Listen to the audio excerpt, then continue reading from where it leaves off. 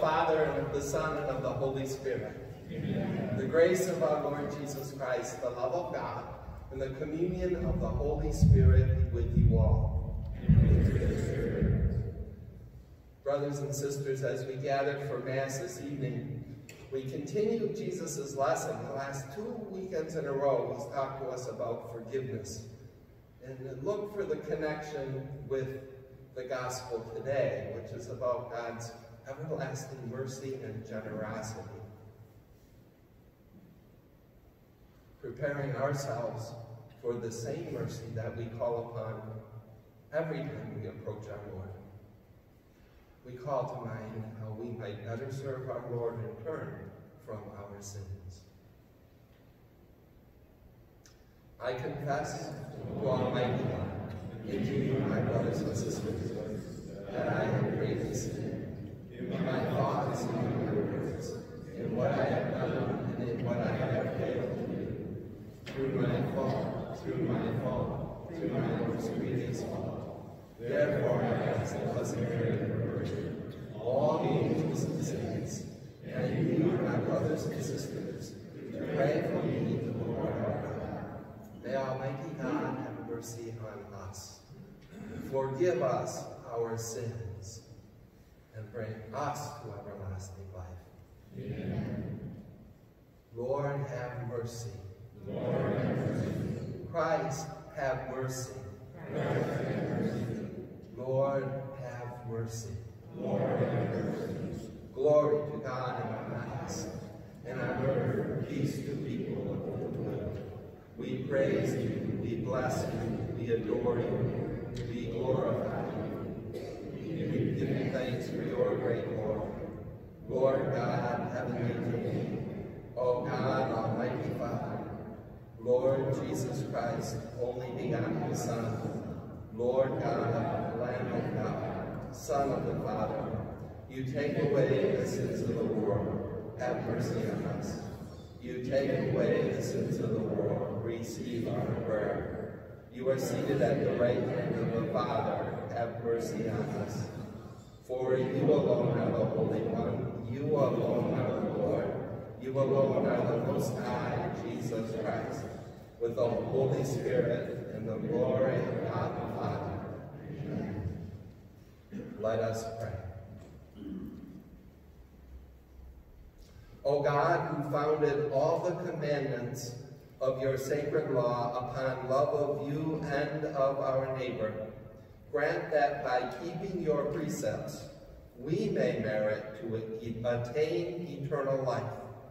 Through our Lord Jesus Christ, your Son, who lives and reigns with you in the unity of the Holy Spirit, one God, forever and ever. Amen.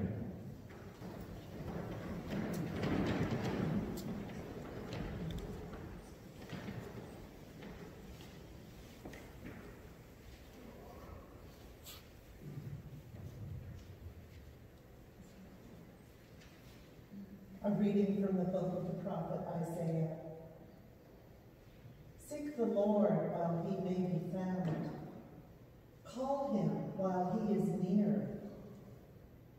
Let the scoundrel forsake his way, and the wicked his thoughts. Let him turn to the Lord for mercy, to our God, who is generous in forgiving. For my thoughts are not your thoughts, nor are your ways my ways, says the Lord. As high as the heavens are above the earth, so high are my ways above your ways, and my thoughts above your thoughts. The word of the Lord. Thanks be to God. The Lord is near to all who call upon him. The Lord is near to all who call upon him. Every day will I bless you, and I will praise your name forever and ever. Great is the Lord, and highly to be praised. His greatness is unsearchable. The Lord is near to all who call upon him. The Lord is gracious and merciful, slow to anger, and of great kindness. The Lord is good to all and compassionate toward all his works. The Lord is here The Lord is just in all his ways and holy in all his works. The Lord is near to all who call upon him, to all who call upon him in truth. The Lord is near to who call upon him. A reading from the letter of St. Paul to the Philippians. Brothers and sisters, Christ will be magnified in my body, whether by life or by death.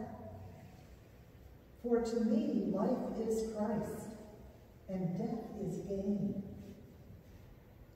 If I go on living in the flesh, that means fruitful labor for me. And I do not know which I shall choose. I am caught between the two. I long to depart this life and be with Christ, for that is far better. Yet that I remain in the flesh is more necessary for your benefit. Only conduct yourselves in a way worthy of the gospel of Christ. The word of the Lord.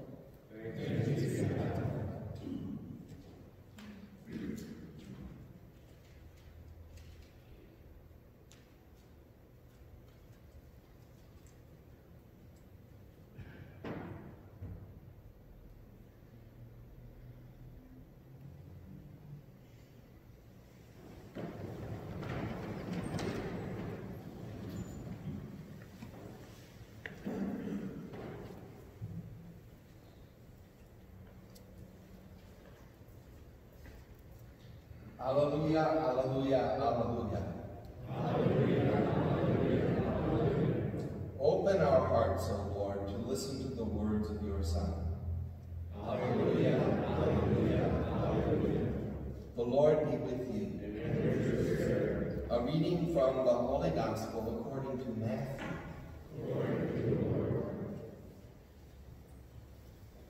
Jesus told his disciples this parable. The kingdom of heaven is like a landowner who went out at dawn to hire laborers for his vineyard. After agreeing with them for the usual daily wage, he sent them into his vineyard.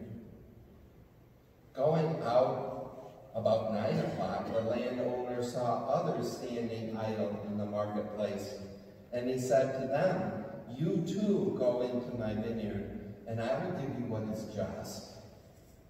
So they went off.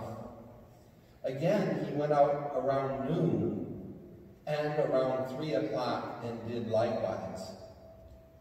Going out about five o'clock, the landowners found others standing around and said to them, Why do you stand here idle all day? They said, Because no one has hired us. And he said to them, you too go into my vineyard.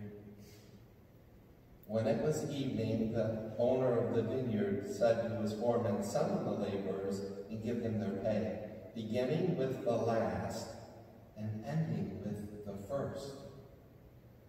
When those had started about five o'clock came, each received the usual daily wage. So when the first came, they thought that they would receive more. But each of them also got the usual daily wage. And on receiving it, they grumbled against the landowner, saying, These last ones only worked one hour, and you have made them equal to us, who bore the day's burden in the heat. He said to one of them in reply, My friend, I am not cheating did you not agree with me for the usual daily wage? Take what is yours and go. What if I wish to give this last one the same as you? Or am I not free to do what I wish with my own money? Are you envious because I am gen gen generous? Thus, the last will be first, and the first will be last. The Gospel of the Lord.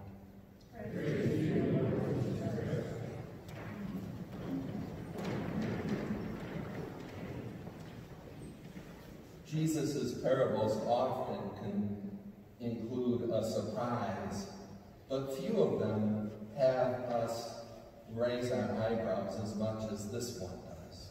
And yet it was one of the parables and as much a teaching as any of them.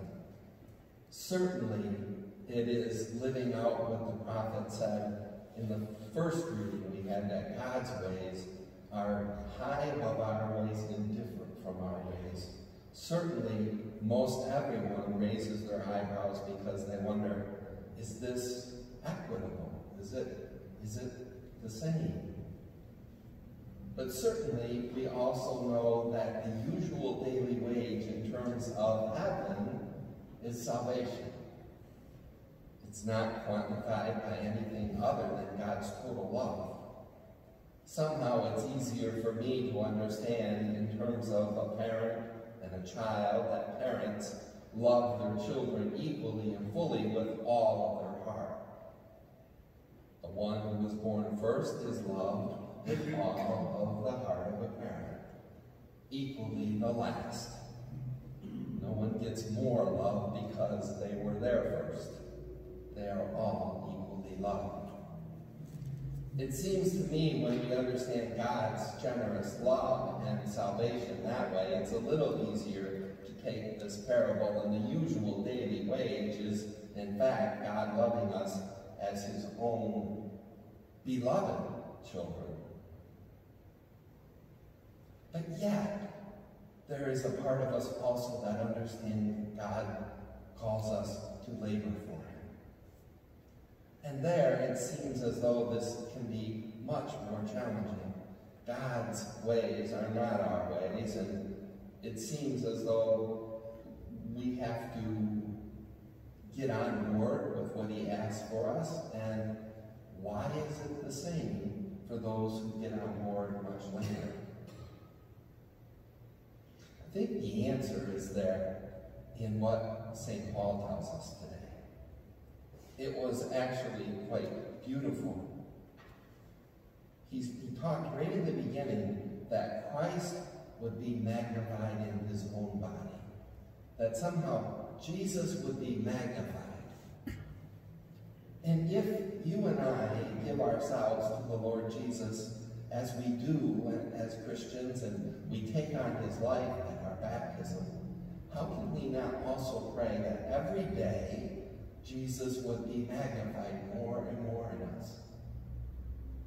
And there is the challenge, to let God's love and generosity somehow magna uh, be magnified in what we do. St. Paul will say it another way too. He, he will say, may Christ increase in me, and may my own desires decrease. St. John the Baptist will say the same thing. I love that word, though, magnify. That somehow, as Christians, we pray that Jesus will not just be present. After all, we came to receive him today.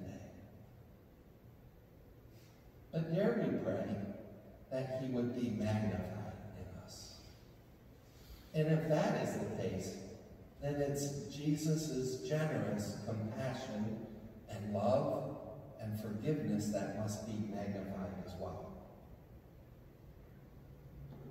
Indeed, a challenge. But dare we pray? Especially in a world that is, is torn and in a society that is, is so polarized, it's so easy for us to kind of sit back with our feet in the dirty clay and just grumble about the world. And yet, the Lord calls us to be one family and to love generously and somehow to pray that all of us get to heaven, period. All of us. All of us.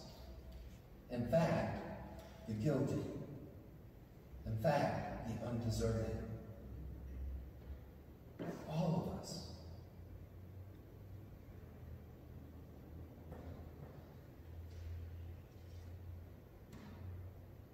Yesterday, about 3.30, I got the phone call from the secretaries up at Harrisville that Father Bissett was found perished in the yard. If you haven't heard, he, he died well into his, his many, many years of service. And their first question was, Father, do we have to call a priest for a priest who died?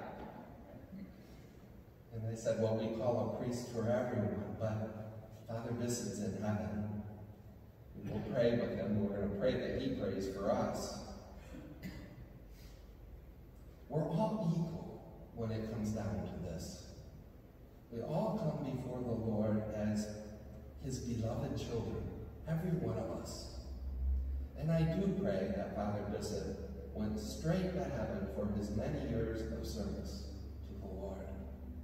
But I pray no less for every single person that I go to. Every single one. And we pray for each other when we beat our breasts at the beginning of Mass, when we confess that we're all sinners together, and that we depend on each other for this prayer. Why? Because in each of us, Jesus is magnified. In his forgiveness and his compassion, his generosity of spirit needs to be magnified in each and every one of us. God's ways are not our ways, said our first reading. But remember, that was the Old Testament. That was before Jesus walked the earth and our Savior came. When Jesus came, he said something totally different. He said, love each other as I have loved you. Somehow that is the challenge to live what we said. Only a little bit differently. God's ways must be magnified in us. If we're going to love each other the way Jesus loves us from the cross, somehow we have to pray for each other, every single one of us, to be loved and cherished by God and His mercy equally and fully with all that God has to offer each of us.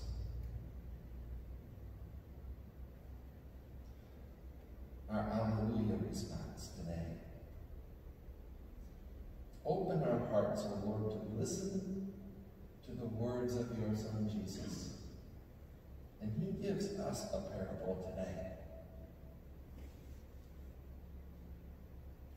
St. Paul's last words are the words that I'm going to leave you with.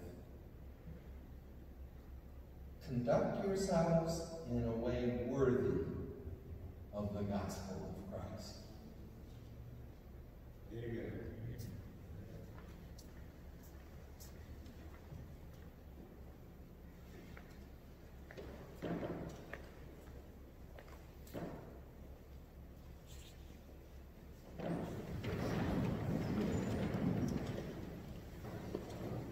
believe in one God, the Father, the Almighty, maker of heaven and earth, of all things visible and invisible.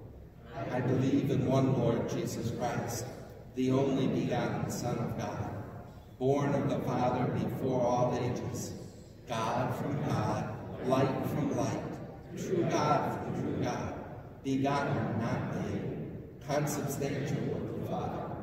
Through him all things were made. For us men and for our salvation, he came down from heaven, and by the Holy Spirit was incarnate of the Virgin Mary, and became man. For our sake he was crucified under Pontius Pilate. He suffered death and was buried, and rose again on the third day in accordance with the Scriptures. He ascended into heaven, and is seated at the right hand of the Father. He will come again in glory to judge the living and the dead, and his kingdom will have no end.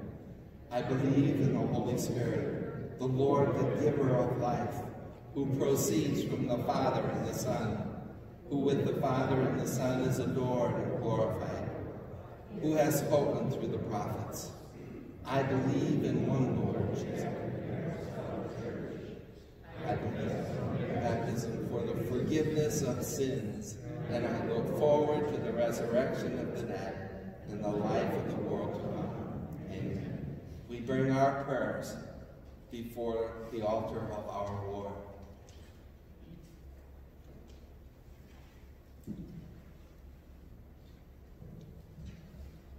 For the church, that we may humbly accept God's gift of salvation and recognize that every day is God's gift to us.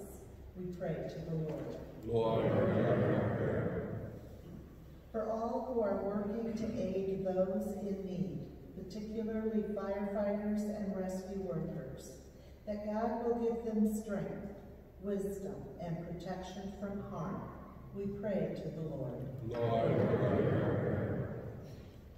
For all who have been impacted by the wildfires and hurricanes, that God will comfort those who have lost homes and livelihoods. Help them find new homes and the resources that they need, and give eternal rest to those who have died. We pray to the Lord. Lord, hear our prayer. for greater stewardship of creation, that God will impel our hearts to oppose the misuse of earth of the earth's resources and empower us to work tirelessly protect the magnificence of nature for further generations. We pray to the Lord. Lord, hear our prayer. For our parish family, that we may live each day striving to be faithful disciples through trusting in God's providence and showing love and compassion to all who enter our lives. We pray to the Lord. Lord, hear our prayer. For the soul of Father Robert Bissett, for his family, for the parishioners and, par and parishes that he has worked in, we pray to the Lord. Lord, hear our. Almighty and ever-living God, hear our prayers and unite our hearts and our souls to you, that you, by your love we may show your love to the world. We ask this through Christ our Lord. Amen.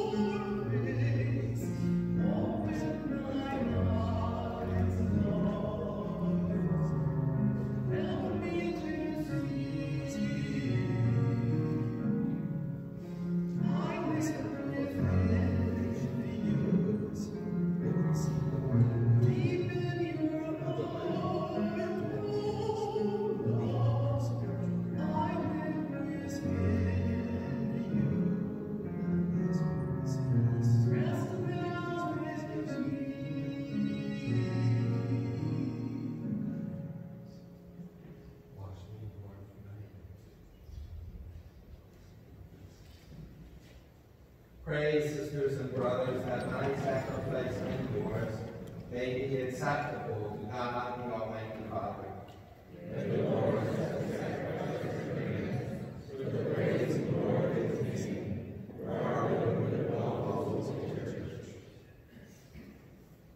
Receive with favor, O Lord, we pray, the offerings of your people, that what they profess with devotion and faith may be theirs through these heavenly mysteries, through Christ our Lord. Amen. The Lord be with you. Lift up your hearts. Let us give thanks to the Lord our God. It is truly right and just, our duty and our salvation, always and everywhere to give you thanks, Lord, Holy Father, Almighty and eternal God, through Christ our Lord. For through his paschal mystery, he accomplished a marvelous deed by which he has freed us from the yoke of sin and death, summoning us to the glory of now being called a chosen race, a royal priesthood, a holy nation, a people for your own possession, to proclaim everywhere your mighty works, for you have called us out of darkness into your own wonderful light. And so with angels and archangels, with thrones and dominions, and with all the hosts and powers of heaven, we sing the hymn of your glory, as without end we acclaim. Holy, holy, holy Lord, God of hosts, heaven and earth are full of your glory.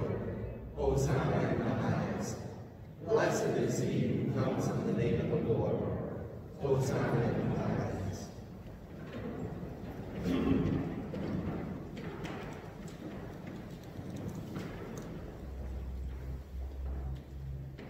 are indeed holy, O Lord, and all you have created rightly gives you praise. For through your Son, our Lord Jesus Christ, by the power and working of the Holy Spirit, you give life to all things and make them holy. And you never cease to gather a people to yourself, so that from the rising of the sun to its setting, a pure sacrifice may be offered to your name. Therefore, O Lord, we humbly implore you by the same Spirit, graciously make holy these gifts we have brought to you for consecration, that they may become the body and blood of your Son, our Lord Jesus Christ, at whose command we celebrate these mysteries. For on the night he was betrayed, he himself took bread. And giving you thanks, he said the blessing, broke the bread, and gave it to his disciples, saying, Take this, all of you, in need of it. For this is my body, which will be given up for you.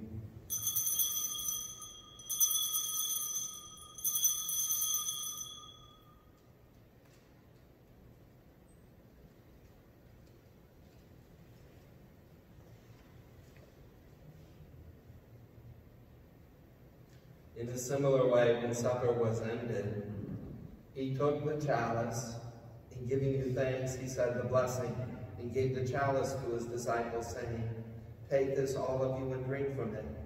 For this is the chalice of my blood, the blood of the new and eternal covenant, which will be poured out for you and for many for the forgiveness of sins. Do this in memory of me.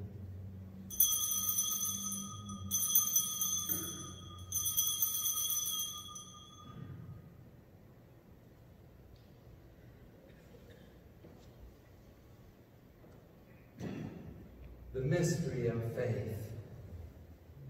When we eat this bread and drink this cup, we proclaim your death, O Lord, until you come again.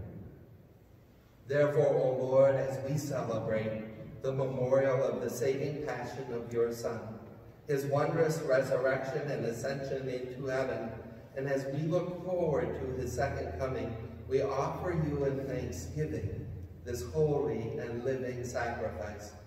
Look, we pray upon the oblation of your church, and recognizing the sacrificial victim by whose death you will to reconcile us to yourself, grant that we who are nourished by the body and blood of your Son and filled with his Holy Spirit may become one body, one spirit in Christ.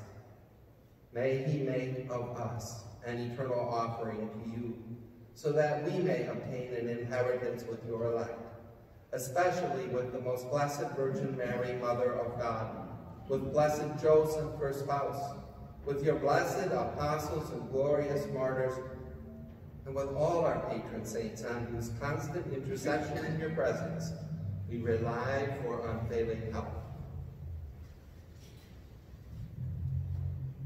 May this sacrament, may this sacrifice of our reconciliation, we pray, O Lord, advance the peace and salvation of all the world. Be pleased to confirm in faith and charity your plaguing church on earth with your servant Francis, our Pope, Walter our Bishop Administrator, the of bishops, all the clergy, and the entire people you have gained for your own. Listen graciously to the prayers of this family whom you have summoned before you. In your compassion, O merciful Father, gather to yourselves all your children scattered throughout the world. To our departed brothers and sisters, and to all who were pleasing to you at their passing from this life, give kind admittance to your kingdom.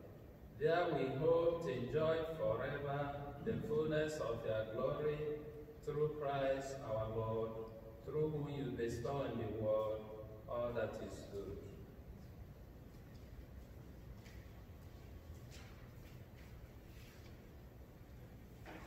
Through him, and with him, and in him, O God, Almighty Father, in the unity of the Holy Spirit, all glory and honor is yours, forever and ever. At the Savior's command, and taught by divine word, we pray as Jesus taught us. Our Father, who art in heaven, hallowed be thy name. Thy kingdom come, thy will be done, on earth as it is in heaven. Give us this day our daily bread, and forgive us our trespasses, as we forgive those who trespass against us. And lead us not into temptation, but deliver us from evil. Deliver us, Lord, we pray, from every evil. Graciously grant peace in our days, that by the help of your mercy, we may be always free from sin and safe from all distress, as we await the blessed hope and the coming of our Savior, Jesus Christ. For the kingdom, the power, and the glory of yours. Lord Jesus Christ, who said to your apostles, Peace I leave you, my peace I give you. Look not on our sins, but on the faith of your church, and graciously grant her peace and unity in accordance with your will, who live and reign forever and ever. Amen. The peace of the Lord be with you always.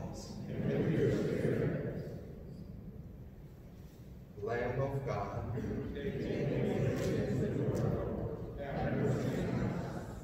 Lamb of God,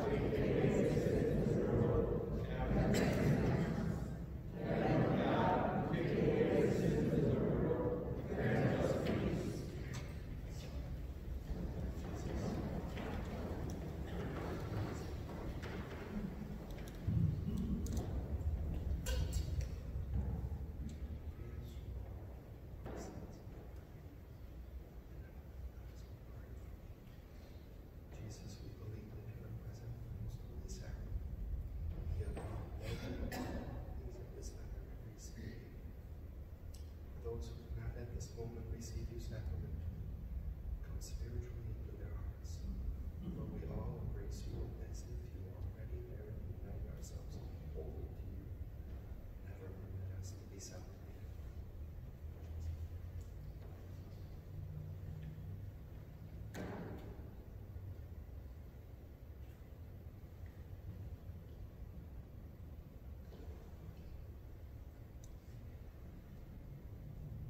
Behold the Lamb of God. Behold him who takes away the sins of the world. Blessed are those called to the supper of the Lamb. Lord, I am not worthy that you should enter under my roof, but only say the word, and my shall be. May the body and blood of Christ keep us safe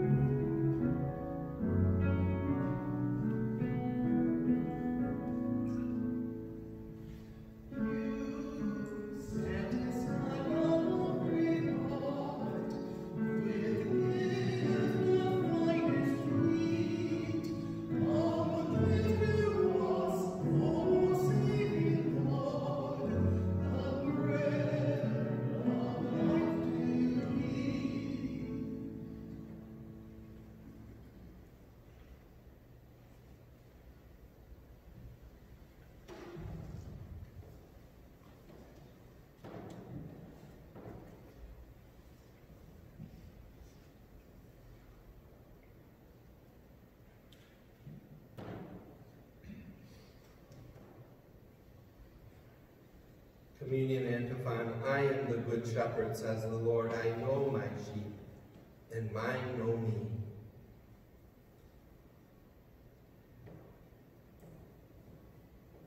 Let us pray. Graciously raise up, O Lord, those you renew with this sacrament, that we may come to possess your redemption, both in mystery and in the manner of our life. Through Christ our Lord. Amen. The Lord be with you. And with your spirit. May Almighty God bless you, Father, Son, and Holy Spirit. Amen. The Mass is ended. Go forth bearing Christ with your lives. Thanks be. The funeral for Father Bissett has not been announced yet. I'm sure we'll post it on the website as soon as we know.